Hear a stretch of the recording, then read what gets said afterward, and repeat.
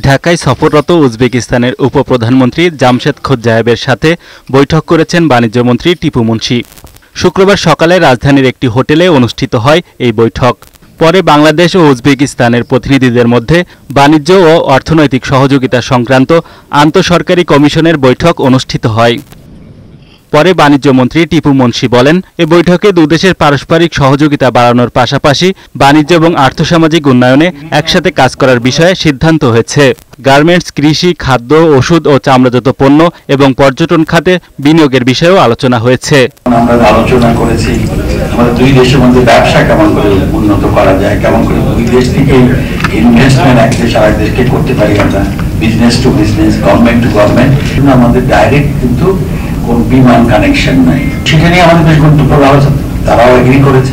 পরে উজবেকিস্তানের উপপ্রধানমন্ত্রীর সাথে সৌজন্য সাক্ষাৎ করেন প্রধানমন্ত্রীর বেসরকারি শিল্প ও বিনিয়োগ বিষয়ক উপদেষ্টা সালমান এফ রহমান এবং আইসিটি প্রতিমন্ত্রী জোনায়েদ আহমেদ পলক।